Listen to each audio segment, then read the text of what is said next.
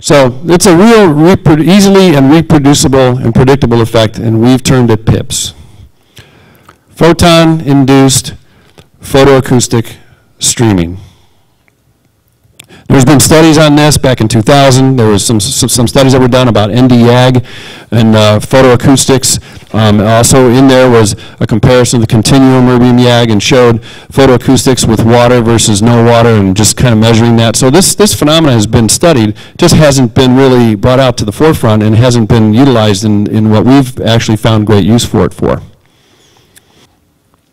So here I am going into the mesial buccal 2. And I'm going to fire the laser and look at everything that comes out of the MB1. If you look long enough, you'll also see little pieces of uh, nerve tissue and debris coming out here. Watch, you'll see it float here in a minute, like right about here. There it Again, three-dimensional streaming and cleaning of the root canal system with PIPS. Streaming and cleaning. So we were extremely excited when we saw this because we thought, oh my gosh, if we can just get the PIPS effect to be placed in any one of these canals, the effect could be seen in all the canals. But you've got nice, um, you can see the nice bubbling and moving of the fluid in the chamber. And the question is, what's happening down in the root system when we do this? What, in your mind's eye, is happening where you can't see it? What's happening to the fluid? Where's it going? How is it cleaning out the, the canal system? And that's, these are the results that we're getting. This is the kind of SEMs, that- as I've shown you, this is kind of a compilation video of everything that we've, we've shown you. I've got a couple more SEMs to show you that you haven't seen yet, that we'll show you in a minute, and I think will knock your socks off. And let's just say it knocked our socks off, our latest round of SEMs, as we've uh, improved on, on utilizing PIPS in the root canal system. So here, here's what we did on, on this. What, what, this is um, an example of how, of how the photoacoustics actually works and how the PIPS uh, actually works. Um, we took a vial and we used a 50 microsecond pulse duration with uh, the Lares PowerLase AT. You'll watch what happens here when you uh, watch this, this uh, test tube here. 50 microseconds, 50 millijoules, 15 hertz, PIPS tip. Violent. Once again, the same settings, we didn't change the power, we just changed the tip and the design. And, and that was a, a rather large volume of uh, liquid. If you think about the amount of liquid that is inside a canal system, it is maybe one one thousandth of what we had there. And the effect becomes exacerbated with the diminution of fluid. The less fluid, the more pronounced the photoacoustic effect is. So this is basically what happens when it fires. Most of the energy comes out the end, just by virtue of the, uh, the, the angle that's cut, and some of it comes out, smaller energies of it come out. So you get this kind of uh, extra, uh, um, a heating of the molecules that occur here, and you get an expansion effect. It's almost like a micro explosion, a tsunami, so to speak. And you get this radiation.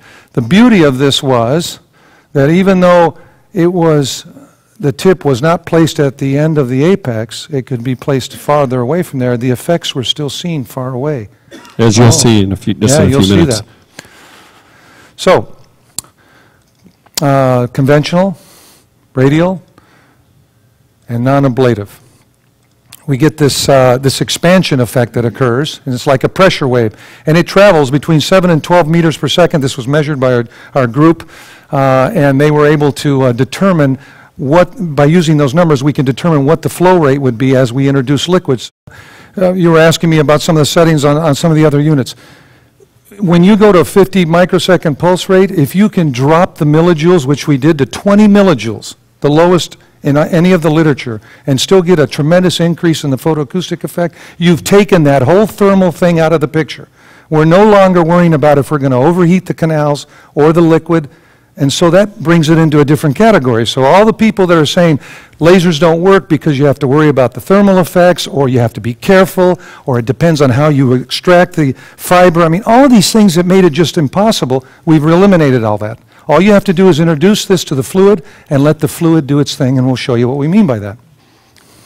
Everybody who does endo deals with this. If you don't know it, I'm telling you right now, it's called vapor lock. You inject your fluid, whether it be RC, I mean EDTA, water, and you get this vapor lock because as it gets smaller and smaller, the fluid can't get there. And of course, if you don't go in here and clean this out, this is the part that remains always contaminated. And by the way, this is the part that fails usually. In 80% of your endo cases, they fail in the apical one-third, not out the lateral. So, no matter what you do, I'm, I'm, we're placing liquid in, we're extracting it out. Whatever we do, we still can't get to that. Next one.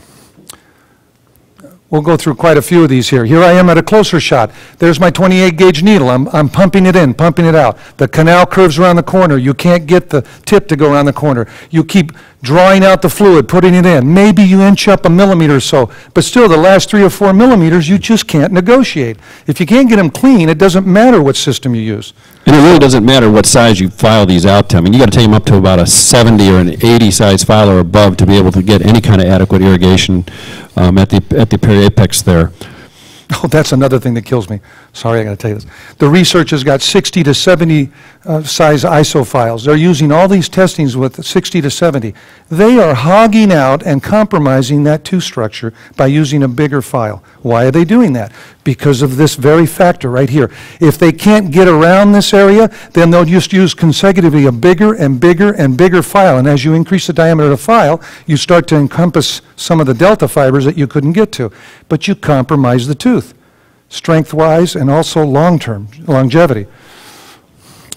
So here we are again, we placing it in, I'm, I'm sucking the, uh, the fluid out, and then I'll put it back in again, and then what I'm noticing is I'm not getting very much of an effect, I still have this. Now I'll place our tip right here without bringing it in, and look at the activity we get. The tip is over here, and the activity is still seen distant.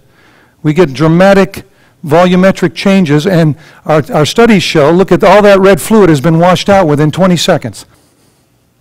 Withdraw the tip. I'll place the, our little PIPS tip, it's somewhere way up here, and the next thing you know, bingo. Look at the fluid starting to clear out, getting clearer and clearer. We time this, 20 seconds is adequate. Anything less than that, you might still have fluid. That was one of the factors, but you can see how clear this is. Again,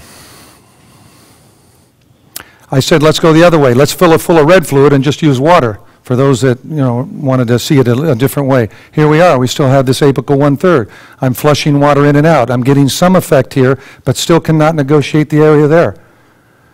Bottom line is, in school, I remember I was taught at the University of Pacific, you could never uh, irrigate a canal enough. You just couldn't do it. So they asked me to do it in between each file, plus we were students, we didn't know any better. But I understand why, because if you don't, if you don't really get a good job of cleaning this out, and we did it between every file, and I'd be willing to bet a lot of dentists don't do that between every file, well, you're always going to have this area that's, that's, you're setting yourself up for failure long-term. All right, and there you go. There's that uh, dramatic this is not cavitation, by the way. Someone said, well, isn't this cavitation? The true definition of cavitation is a change from a liquid to a gas. We're not changing anything to a, gas because the energy levels are so low. We're not, oh, we're not superheating this. This is a shock wave effect that's occurring. PIPS. Continuation of fluid. The less fluid, the more photon induced. We'll go to the next one. Mm-hmm. Just the fluid alone and no water, look, here's my tip right here, look over here. That's unbelievable. That, now, we don't have to worry if the, if the root is curved or it's dilacerated or whatever. As long as we can get fluid in the canal, and then by virtue of PIPS and the special design that we have with this laser system only, you can go ahead and use that, that, uh, that phenomena to negotiate canals that you couldn't reach before without having to open them up and, and over-instrument them. That's the beauty. We're becoming more and more minimally invasive in our approach. The literature says 30, between 30 and 40 is probably the side you should end on. You will see a lot of our, our, our, our cases we're going to show you have been instrumented to a size 20. Why? Because we don't need to instrument them out anymore. We're able to effectively clean those, those areas, those delta fiber areas out better. Here's a case, uh, just again, showing some more PIPS. We're going to show you more videos of, of, of PIPS itself.